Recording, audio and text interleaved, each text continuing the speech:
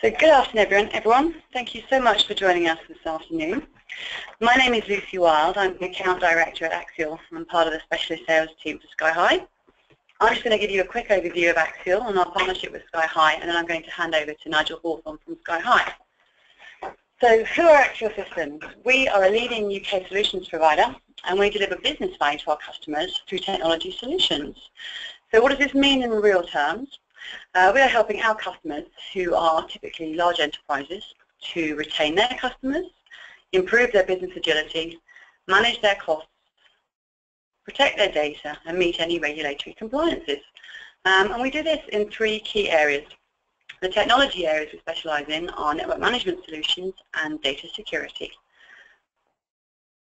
With network management, we help networks and ensure the right information gets to the right tools. We give our customers the ability to spot problems and fix them before they impact the business.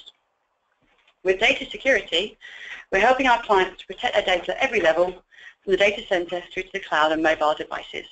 We're protecting their business, and doing this, they achieve the necessary regulatory compliances. The third area, and this is what really sets Axial apart, are the services we provide. We provide a full range of services that complement our technology solutions. These range from training, installation, planning and design, right through to full managed services. This is what makes Axial really special and one of the things that I love most about our company. It's our ability to take multiple vendors and with our services put together a complete solution tailored to our clients' individual needs.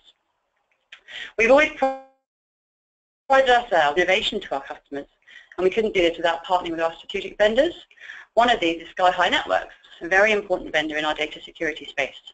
We've been partnering with Sky High for about 18 months now. The partnership came about um, with a fantastic move to the cloud. It's been a really interesting journey to see. And talking to our customers, although it presented amazing business opportunities, um, it also presented challenges. The feedback we were getting was, you know, we want to move to the cloud, but how do we know which services to use?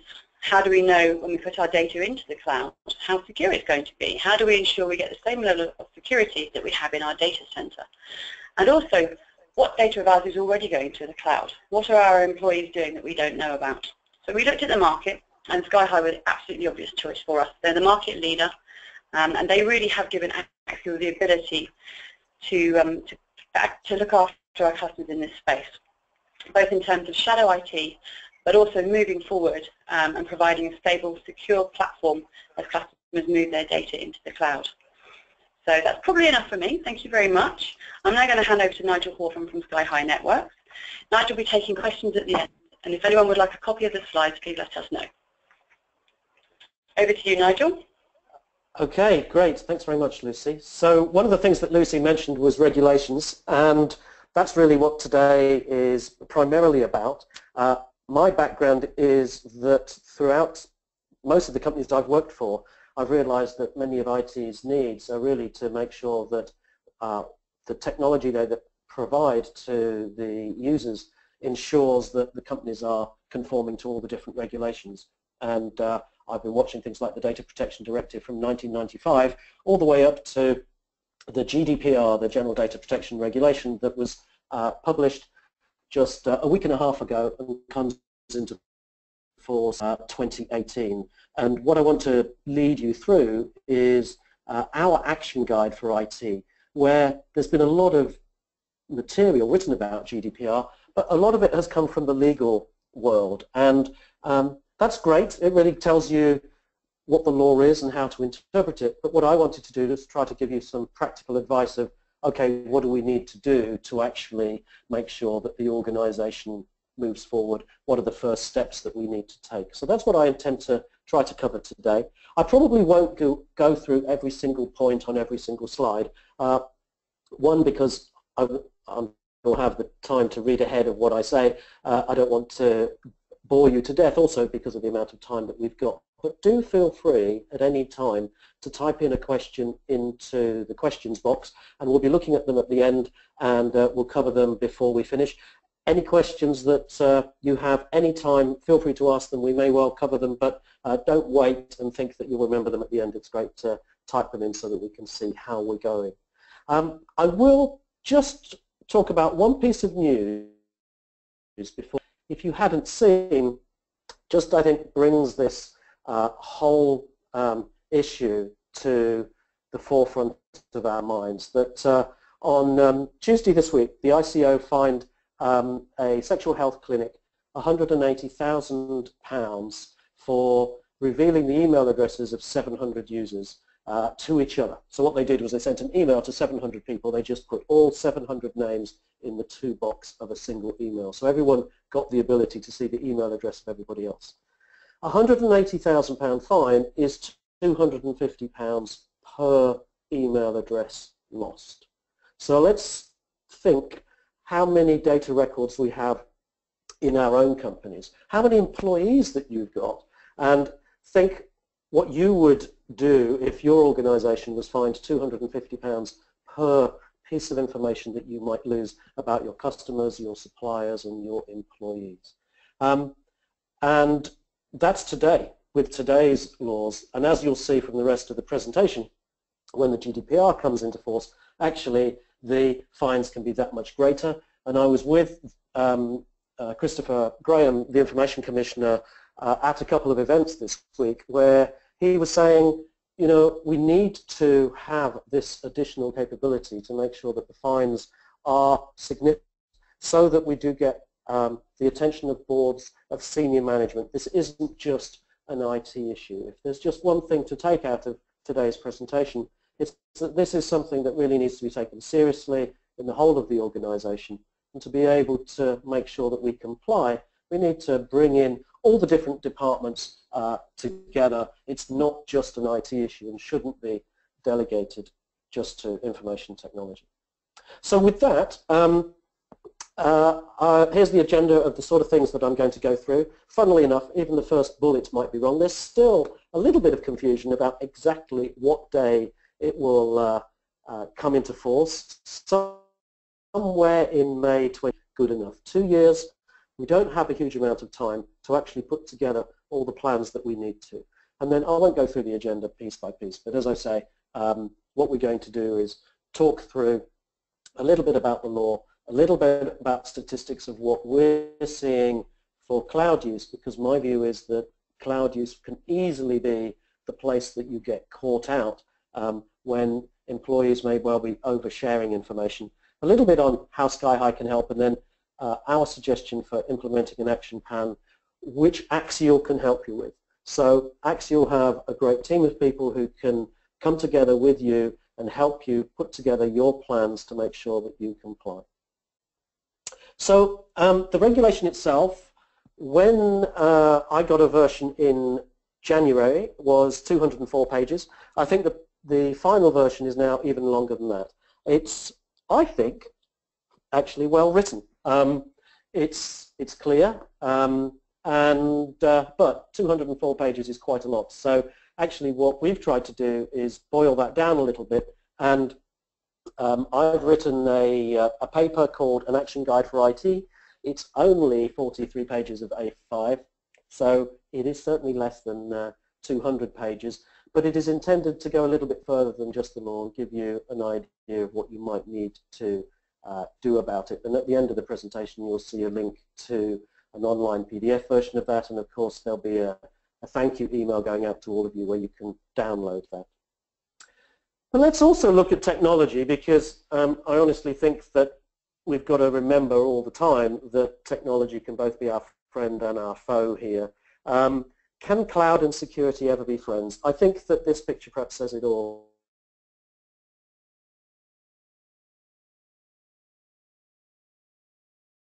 sometimes an awkward relationship. We have to work together. We have to make sure it's new technologies because it makes us innovative as companies. It makes employees more productive. There are fantastic cloud services available out there. However, we have to do this within rules to make sure that um, employees aren't inadvertently doing something that, again, going back to the Information Commissioner's uh, uh, speech this week, he said are either stupid or silly.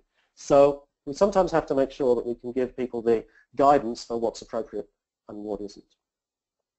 Uh, before we get into what some people consider bad news, let's just look at the good news. So a survey of senior management um, conducted by the Cloud Security Alliance pointed out that the major benefits of moving to the cloud include lower upfront or ongoing costs, quicker to implement uh, new ideas and, uh, and new systems, and a better user experience. Many of the cloud services available today are well designed. They are easy for a user to take up and use. I use, for instance, a system called Trello.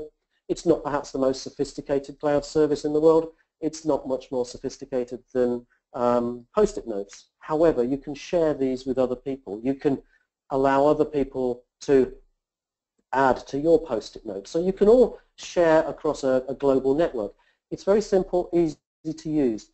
But unfortunately, you can, if you choose, use it sharing other information. You can attach documents to it. So it's not that that cloud service itself is necessarily dangerous. It's whether or not users have been well trained to do the right thing. And that's where we bring the other side of the story in here. What are the barriers stopping us moving to the cloud?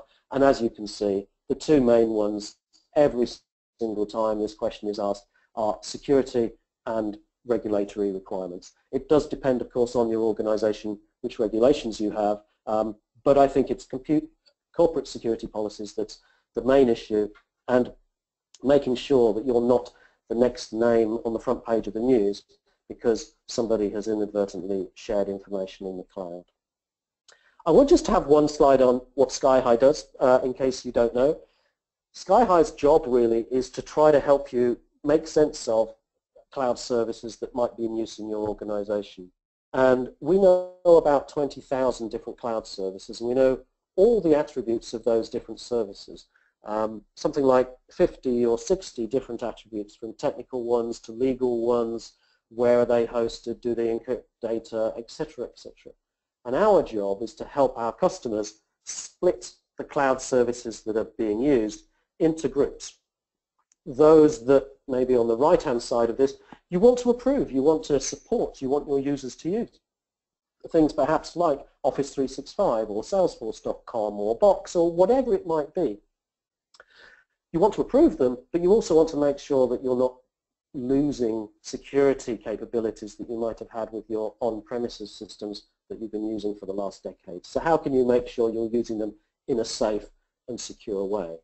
At the same time, you have other systems that maybe you aren't so convinced about. The company doesn't want to actually pay for and have a contract with some of these systems, but you will perhaps um, at least allow them to uh, be used by users. So you'll permit them access, uh, but permit them within uh, boundaries. So you say, yes, you can use this system, but do not share any intellectual property, do not share any customer information, do not share information about yourself, because actually we don't fully trust them. And then perhaps there'll be systems on the left-hand side that you want to deny, that for you the risk profile is way too high um, to allow your users to use. So our job isn't to necessarily tell you which um, cloud services need to fit into which category, but help you together with the uh, professional services people at Axial to put your lists together of what's appropriate and what isn't and make sure that uh, data isn't being overshared. I don't want to talk too much about SkyHigh um, because there are many other ways of getting that information. So let's let's perhaps go straight on to the General Data Protection Regulation. Um, and what I want to do is take this um, from the position of what you do with today's data you've already got. How do you change what you're doing when you're collecting new data? What do you need to tell your uh, possible data subjects or users? How do you process that? Are you allowed to transfer it outside the European Union? What about deleting data? And very importantly, um, what do you need to do about the potential of data loss? And actually, one of the other things I would say is you need to get a plan together right now, and it needs to be led perhaps by communications rather than IT. What is your view as an organization if data was to be lost? What are you going to do? Who's going to be the spokesperson? How are you going to communicate with the wider community and also your users, your employees, your suppliers whose data may well have been lost? So let's go through this. So firstly, existing data. Existing data, anything we have already, it will be covered under the new regulation. And so um, you can't say, well, it's okay, I collected it uh, many years ago, it doesn't count. You need to look at all of your existing data and where it might be.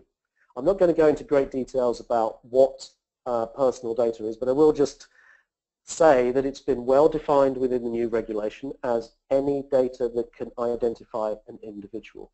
That's a very much more precise definition than in the previous directive, and that could therefore mean not just phone numbers, first name, last name, date of birth, uh, home address, but IP address, email addresses, etc. Anything that can identify an individual.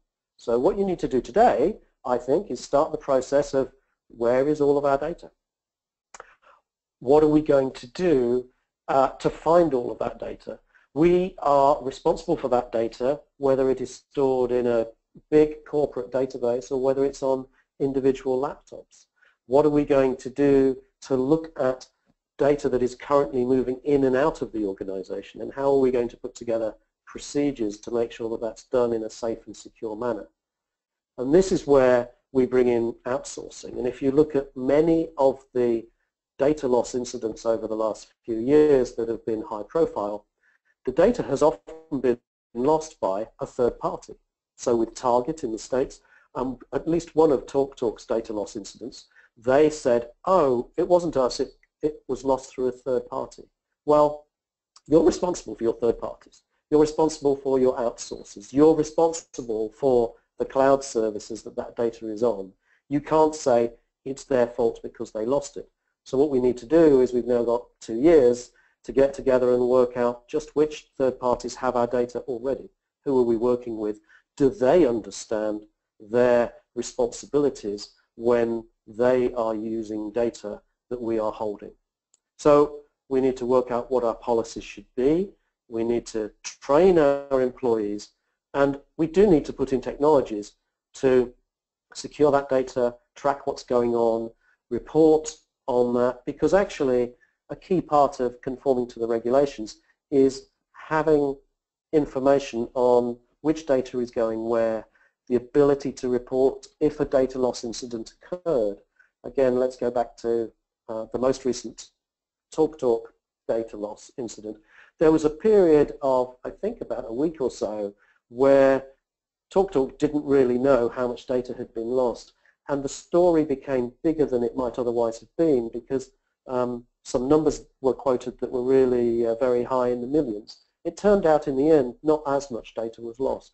So you do need the ability to do some forensics to go back in time if a data loss incident occurs and try to find out just what the scope of that is. So there's lots of things to try to put together in the next two years, even to keep track of today's data and make sure that um, you know what's going on and you've got a, a starting point. The next thing is, okay, new employees, new customers, new prospects, new suppliers. What do you do about that? And this is where I have got to say you've got to start bringing in other departments. And marketing, um, I've got marketing in my job title. I will, I will boldly say marketing are often the worst um, part of the organization for not understanding the value of data, of thinking that as soon as they have um, an email address, they can send emails to this person without asking any further questions, that they can share that information throughout the organization. The new regulation is very clear. You've got to be clear when an, a user comes to you um, why you're collecting their data. You've got to give the user the ability to opt into that collection. The information must be clear. You can't hide it in a 47-page end-user license agreement and you can't automatically opt people in. You must only use the data for the purpose it was collected for. So let's think, if you say to somebody, um, I'm going to, I'd like your contact details so that I can give you technical support on the product that you have purchased that doesn't give you the right to, to then try to use that to sell them something else. So marketing have got to be involved here to try to work out exactly what wording do you put on your website when people come to um, interact with your organization. What wording do you put um, on any other marketing that you might be uh, uh, taking place? And this one's interesting. It's, there's a line that says, you must not demand an opt-in and you must not restrict users' access to a service on the basis that they only get it if they opt in.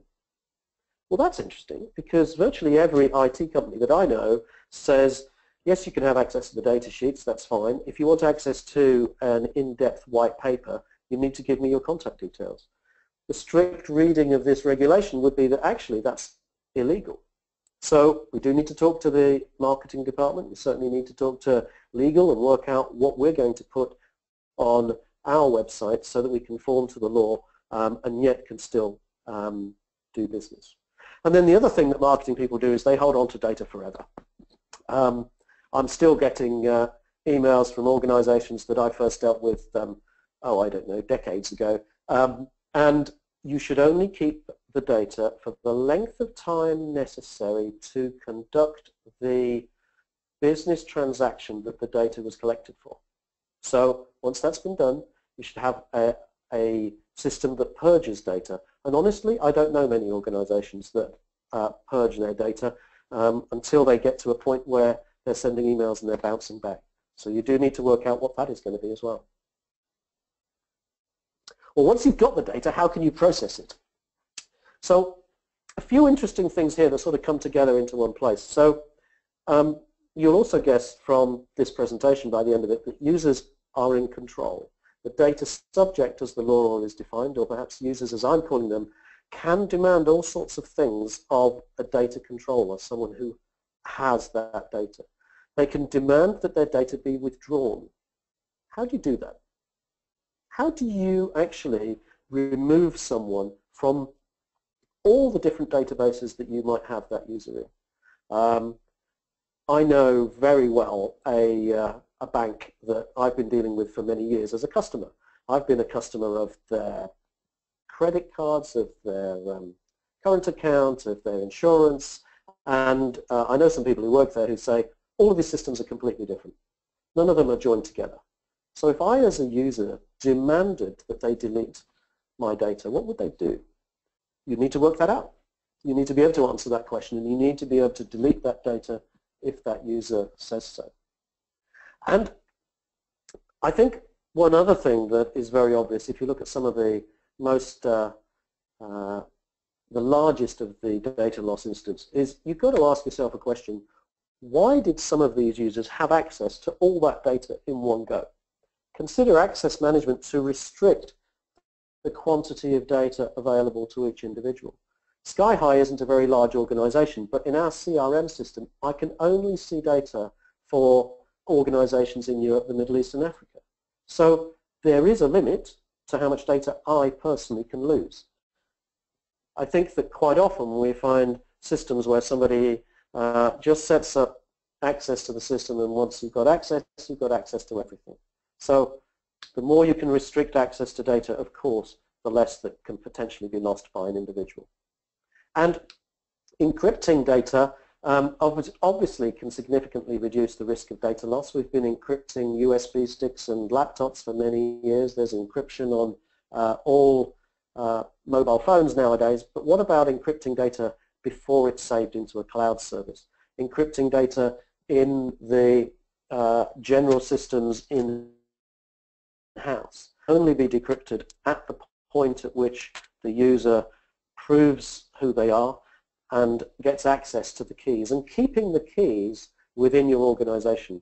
I could say there's not much point in encrypting data in a cloud service if the keys are also kept in the same cloud service. It would be great, wouldn't it, to be able to say, yes, I've encrypted all the data before it's saved in Google Drive, Box, Dropbox, Office 365, whatever it might be, but all of the keys are being kept locally.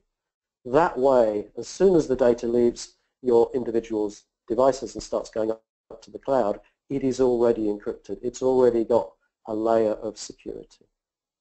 And going back to uh, outsourcers, the phrase that the um, regulation uses about people who are outsourcers is they're called data processors. So if you are an organization such as SkyHigh that collects data on individuals we are a data controller. If we outsource it to Salesforce, Salesforce are a data processor. Data processors and data controllers are jointly liable if data gets lost. And you need to ensure that your data processors understand their liability. And quite likely if they're um, a relatively small organization and if they're outside the European Union, they probably won't know exactly what their liability is, but they need to know, they need to sign up to you, uh, probably uh, a legal contract that says, um, I understand and I will treat data fairly and uh, with the security that you want. And actually, I'll just say a little um, point before I move on. Um, if they support ISO 27018, that's a great standard to show that they understand their responsibilities when um, dealing with uh, personal data in the cloud. Okay. Now this slide I could probably talk about for three hours, which is a bit of a problem. Um, transferring data outside the European Union. Um, there's a few things that I think are interesting. Transfers should only occur if necessary. It was a late addition to the regulation. I think it's an interesting one. Um, and actually, the commercial world has shown quite a bit ago when we looked at the 20,000 cloud services that we knew, if I remember the numbers, only about 20% of them or less stored data in the European Union. But when we did the same review in December of last year, that had more than doubled. So there are lots of global cloud service providers where you can say to them, yes, I'd like to use your system, I'd like to be a customer, but I'd like your data to be pinned into the European Union. I want it to be saved in your European Union uh, data storage. Now, from a legal point of view, transfer happens as soon as the data leaves and users should be informed that data might leave the European Union and allow them to opt out. Now, I don't think anybody wants a web page with 10 or 12 different boxes where they click, yes, I do allow this, but no, I don't allow that. But you should be telling them if you are using an outsourcer or cloud service. And um, there are 11 countries outside the European Union that the EU currently consider have adequate privacy laws, and it's okay to transfer data there. You can get a list of them from the EU website, but uh, they include places like um, Uruguay, New Zealand, um, Israel, then of course Liechtenstein, Norway, and Switzerland that are part of the uh, European Economic Area, but not the EU. But it does not include the US. Um, so for transfer to any other country, really there should be a legal contract with the recipient, the data processor, that um, the data processor confirms to you that they will um, treat the data safely and securely. And um, most big cloud service providers that are dealing with enterprises have clauses in their contracts that make that point. But the responsibility keeps going. If you outsource and they outsource to someone else and that person outsources to somebody else, the responsibility for data security follows the data. Every organization in the chain is responsible, but honestly, if data gets lost, it's the data controller that's going to be in the news. It's the data controller that's going to have to take the lead in uh, trying to investigate it and understand it.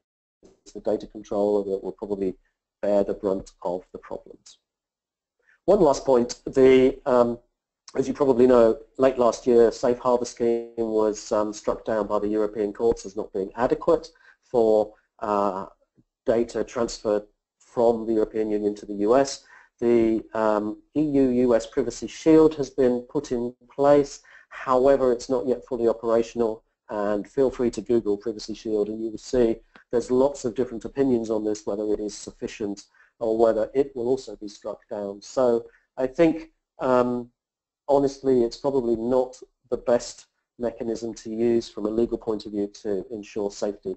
Though, again, the Information Commissioner this week, when talking, said he's not going to spend his time looking for people who are using Safe Harbor and Privacy Shield to simply um, to um, pull them up on it. But of course, uh, he will take that into account if any data is, is lost if um, the systems weren't adequate.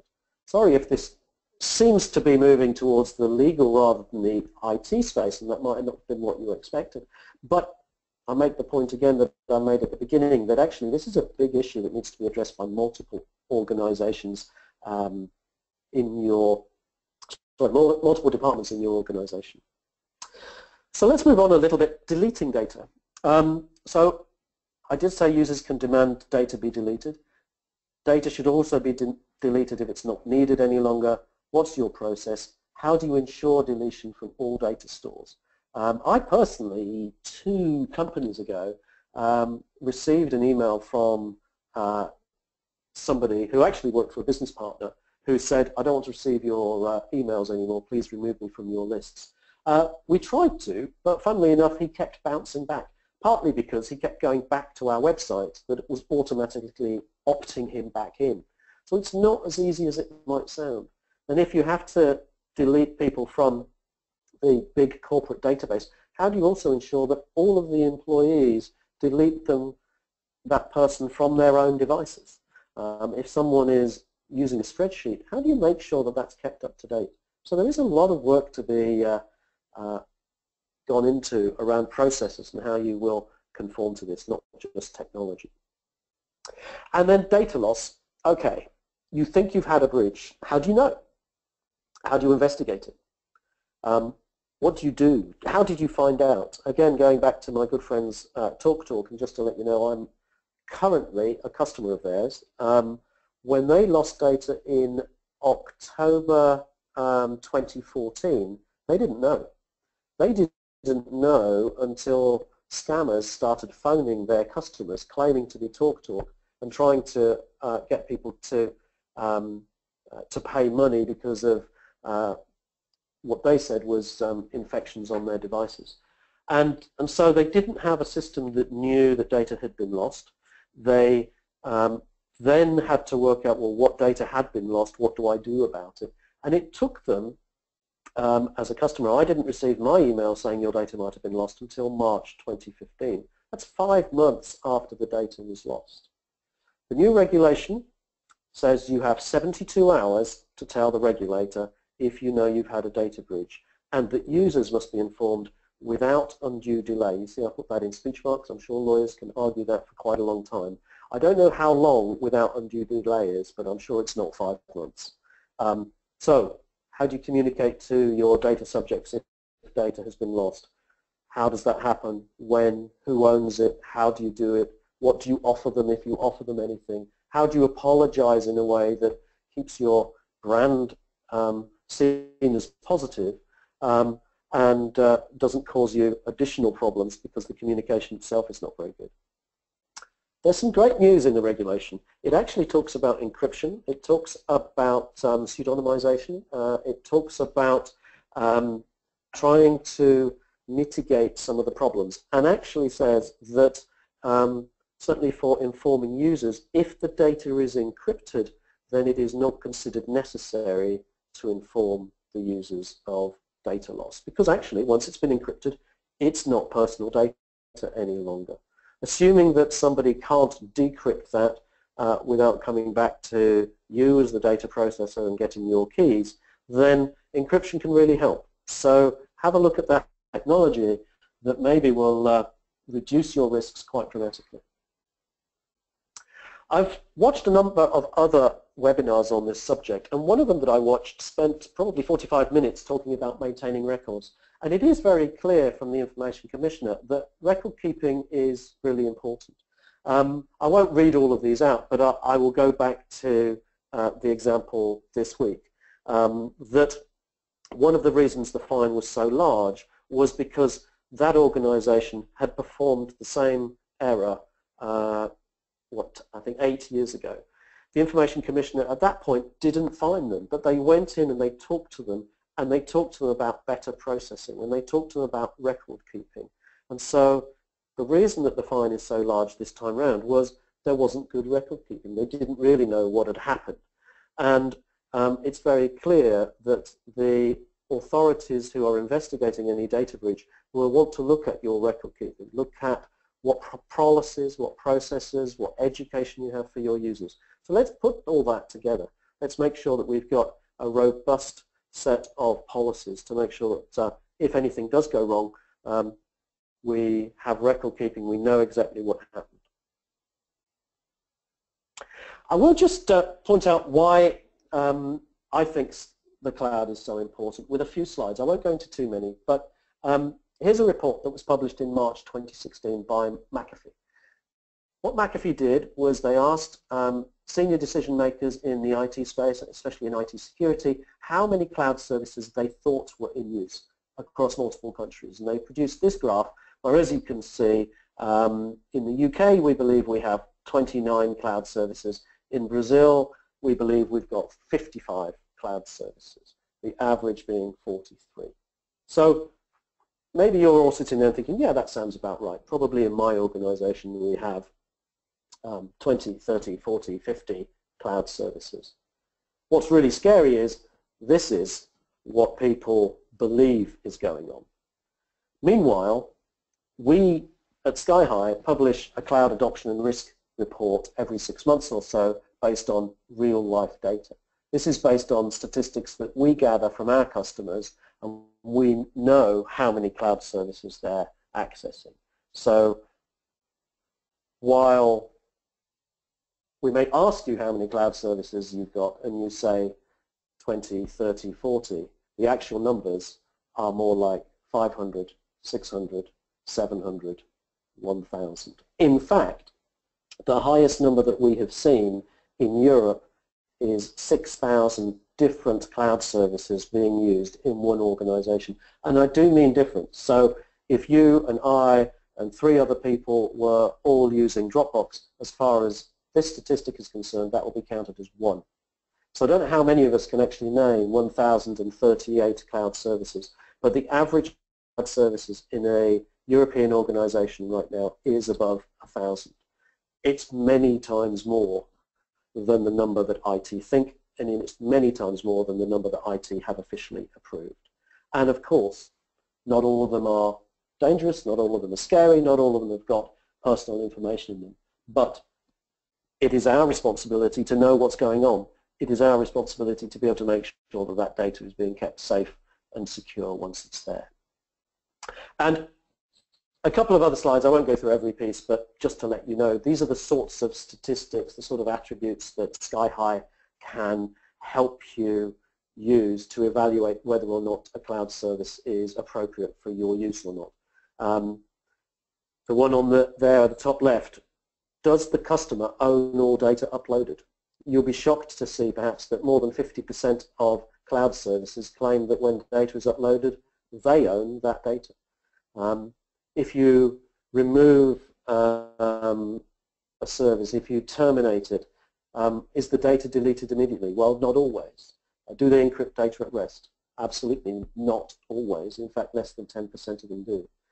Many of these things, happily, can be added to the cloud service. So there's technologies from us and other people that can allow you to add some of the security features if they're not a standard part of the system.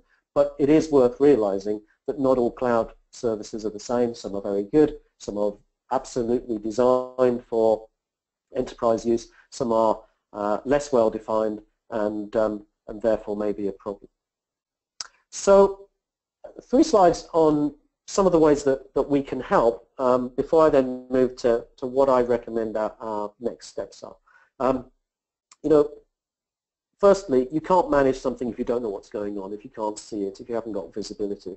We can help you track the cloud services that your users are using. We can give you an assessment of those, which services have which of these security capabilities, how much information is being uploaded and downloaded, and data leak prevention of those files going up and down. If they are corporate files, let's investigate them. What's inside those files? Oh, look, this file is just a letter. That's fine. Doesn't seem to have any personal information in.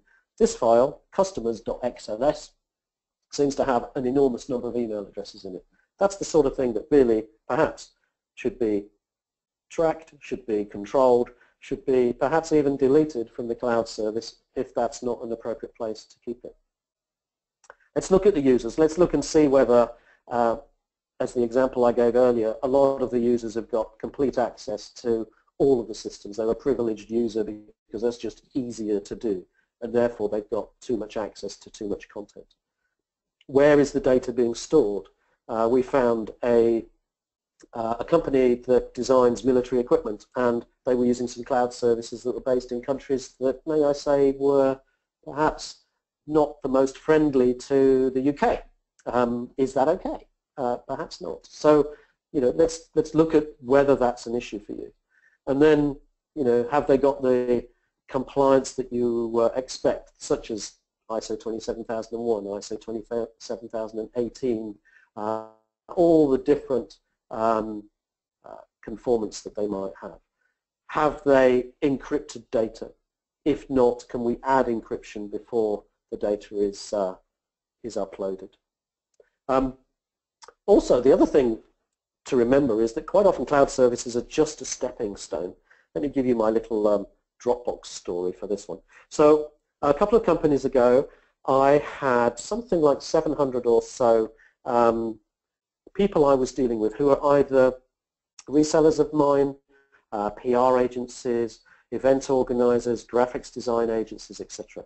And rather than sending them all um, the logo of the company that I worked for and um, PDFs of documents, etc., I set up a Dropbox account and I simply gave these 700 people access to this directory and I just kept on putting things in that directory. None of it was really, as far as I was concerned, um, very sensitive.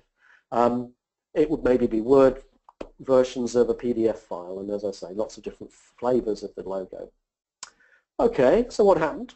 My German PR agency was working on a press release and it had lots of graphics on it and so they decided that the way they would share it with Nigel was to upload it to my Dropbox directory so that I could then see it and then sent me an email saying, this is the file, uh, these are the graphics that go with it, can you approve this press release before it's sent out?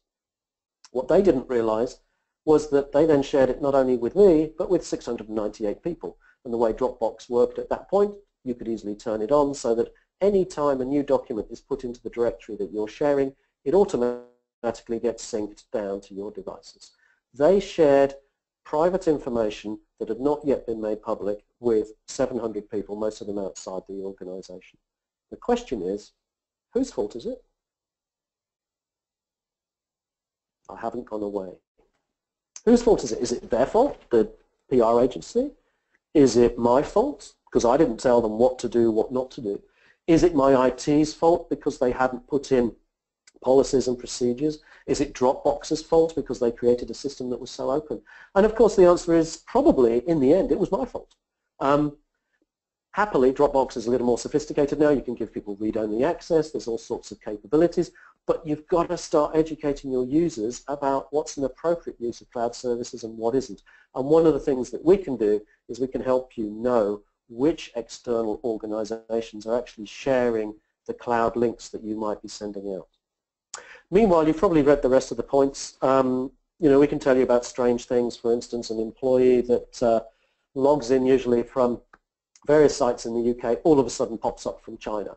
Uh, that's weird. That's strange. Has this person ever been in China before? How come they managed to get from London to China in two hours? This is a possible uh, infection of a device. Or um, a disgruntled employee, somebody who over a period of a year usually downloads only a certain amount of data per week and all of a sudden on a Sunday night starts um, uploading or downloading enormous amounts of traffic.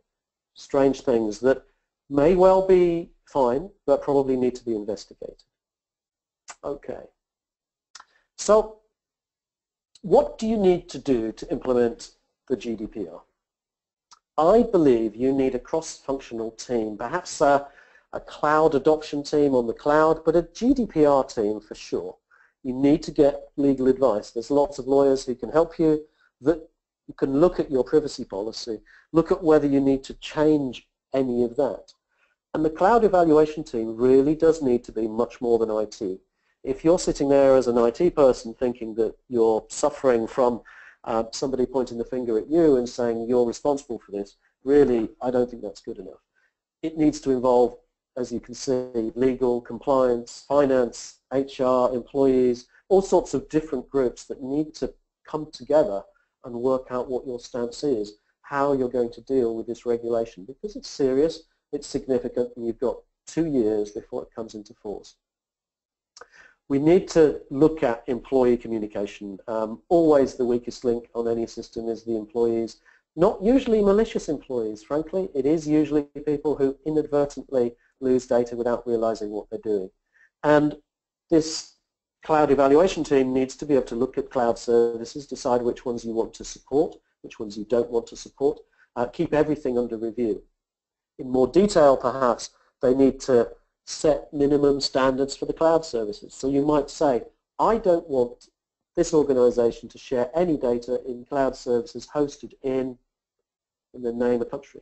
Or you might say, I only want to share um, financial data in cloud services that conform to this standard. Whatever that standard might be, we need to define it. You can't implement technology to keep this in check unless you know what those standards are. And then start migrating users to the services you like. We typically find um, anything between 40 and 100 different cloud data storage services. I've mentioned some of them already. So Box, Dropbox, Office 365, um, Google Drive are just some. There are so many. You don't want to block the ones you've heard of because you'll push your users to the ones you've never heard of, which are probably even more dangerous. But if you pick one that you think the organization trusts, um, sign a contract with them, make sure that they understand the importance of the data that's been um, being stored in there, you can then start to migrate your users. You can send them splash pages that say, ah, ah Nigel, you're going to Dropbox. Actually, our corporate standard is Box. We'd really like you to use this because uh, we've got a contract with them. You have unlimited access. We're doing DLP on it. Um, we believe this is the safest and most secure cloud service. It's something that we want the whole company to use. Um, all data is being um, logged and please use that one. Click here to, to set up an account. Box is only an example. Obviously, it could be whatever you choose from a commercial point of view. So start publishing your approved cloud services list and users will migrate typically to the cloud services you want them to use. Then you've got a much easier uh, set of uh, actions to take. You only need to uh, be tracking a relatively small number of cloud services. And then, but the good news is that um, you can add lots of the capabilities to cloud services that perhaps um, only some of them have as uh, a standard part of their services. So things like single sign-on. Um, really great, for instance, when I left my last company, the day after I left, access to all of their systems had disappeared because it was all um, delivered by a single sign-on. The IT department was able to press one button and delete Nigel from uh, the email system, from Salesforce, from uh, GoToMeeting, from Marketo, etc., etc. All of these different services being controlled in one place. Um, meanwhile, again, you've probably read on with that. Um, there are lots of things you can add to cloud services if you don't think they offer all of the services that you want out of the box. I will just finish with a, a final thought, um, two thoughts actually. Um, this might sound hard, and it might sound, you might be sitting there feeling a little depressed that this sounds like a lot of work. Well, it's supposed to be, and I, I think it's fair. Because if you look at the last 10 years, it's been a, a list of disasters every few days as somebody somewhere loses data, and the amount of data getting lost seems to be just increasing. But if we think about our own data, data on ourselves, data on our children, we want that to be treated fairly. We want that to be kept safe and secure. Yes, okay, the ball's on the other foot when we're controlling other people's data, but we need to consider that it's like ours. Or maybe this one makes the point even more. Is this your car? Anybody on the phone got a car like that? Uh, well, me neither. But what if one of your friends has got a car like that and he or she lends it to you? And you go, wow, fantastic, I'd love to have that. Um, and then another friend of yours says, oh, could I borrow that car? And you go, yeah, yeah, I've got it for the day, but you know, you can have it for a couple of hours. And they then drive it, and then they crash it. Who's at fault? What do you do? Do you go back to the person who owned the car and say, well, actually, it wasn't me because I lent it on to somebody else? And the person who owns the car said, I didn't give you the authority to lend that to someone else. It's not your car. It's also not your data as far as the European Union is concerned, the data subjects own their data. It is only ever on loan to you. So don't ever say, my database, my data in my system. It's not your data. it's someone else's data. It is the data of the individual. As I said earlier, they can demand that you delete it. They can demand it be updated. Actually, they can also demand that you give it back to them. So perhaps I go to my bank that I said I've banked with for many years. I will have the authority and the right to say to them, I would like electronically all the data that you have on me because I want to give that to another bank and I want them to be able to see the whole credit history that I've had. Please give it to me. So again, another question. How on earth do you answer that question? How do you give them their data back if that's what they demand? So I think if you think of this car throughout this process, if you think of the fact that the data you're being given is incredibly valuable to the person whose data it is and treat it in a way that you would treat that car. You hopefully don't lend it to someone who's going to crash it immediately into a tree and you won't go far wrong. There's various materials available to you to get more information. Um, the ebook that I mentioned is available there um, and we'll be sending all of these links. There's also a webinar replay of an earlier webinar. Um, there's a blog that uh, we've written. There's an infographic. The infographic might be useful to share with any of your colleagues who don't think that GDPR matters. It's not an infographic that gives you the whole uh, 200 um, page law because I couldn't do that, but actually it's an infographic which basically answers the question, why should I care? Um, I've spoken a bit longer than uh, I anticipated, but I think we've got uh, about 10 minutes to go. Um, I'm now going to take uh, a little break and see if there are any uh, questions um, and answer them for you. But um, of course, thank you very much for attending and uh, very happy to share all of the slides that I've used. If you think that it would be useful for us to share this information with other people in your organization, I know that Axial are recording this and will make it available, but I'm also quite interested in talking to people, having round tables with different departments to try to um, help you define what your policies will be. So meanwhile, let's just look at the questions. Um,